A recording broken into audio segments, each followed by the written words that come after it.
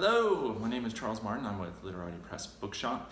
We are inside our closed to the public bookstore until all of this passes. We have been for a little while now, but we've still been supported by our wonderful customer base. Thank you so much for all your orders.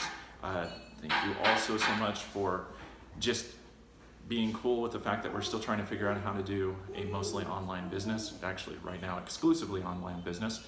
We are just make, make and do with what we can. I've got my wife and my baby here because we're all working from home. And so with all that said, we're going over some of our favorite books. I'm gonna do read a little bit of passages from them because I think they're definitely worth your consideration if you wanna buy them.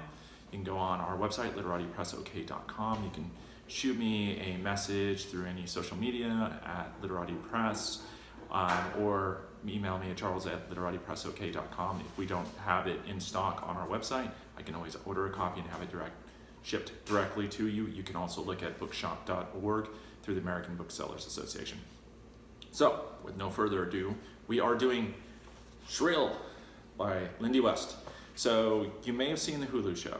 Um, she is, this is her collection of essays, and they are so good astonishingly good, really searing and funny. And one of my favorite essays of all time is here. It's called How to Stop Being Shy in 18 Easy Steps. I'm not going to read the whole thing because it's eh, a little lengthy, but uh, just to give you a little bit of a taste. So, how to stop being shy in 18 easy steps.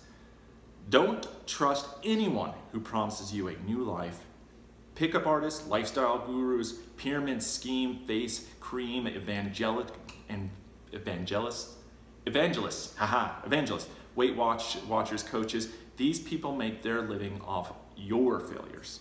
If their products lived up to their promise, they'd be out of a job. That doesn't mean make doesn't make the self-help economy inherently sinister or their offerings wholly worthless. It doesn't mean you can't drop five pounds by eating Greek yogurt under the nurturing wing of a woman named Tanya, or lose your virginity thanks to the sage advice of an Uber driver in aviator goggles, or help your cousin's sister-in-law earn her February bonus while adequately moisturizing your face for $24.99. We are all simply trying to get by after all.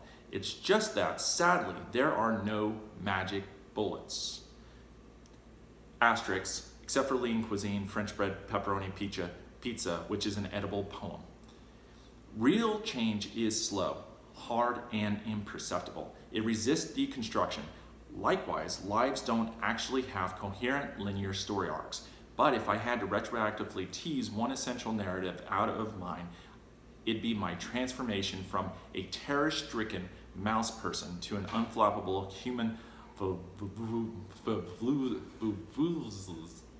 from a terror-stricken mouse person to an unflappable human vuvuzela. That, the big horn, you know what I'm talking about.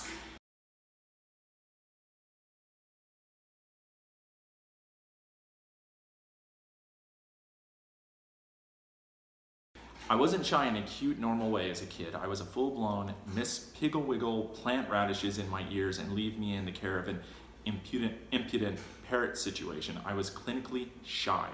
Once in the first grade, I peed my pants in class because I was too scared to ask the teacher if I could go to the bathroom. When the class bully noticed the puddle between my feet, I pointed at a water pitcher on the other side of the room and whispered that it had spilled, just in one small, discreet pool under my chair, and also on my sock. And also the pitcher was filled with urine for some reason. Public schools, am I right? Pretty sure he bought it. So Clumsily Shrill by Lindy West.